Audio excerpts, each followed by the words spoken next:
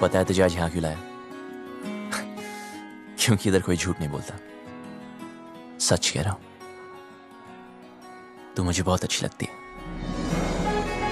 और अगर तू ट्राई करे तो गारंटी है मैं भी तुझे अच्छा लगूँगा। मंदिर में भी हीरो बनती। यार अब क्या करूँ? सबको आती नहीं। मेरी जाती नहीं। हाथ छोड़।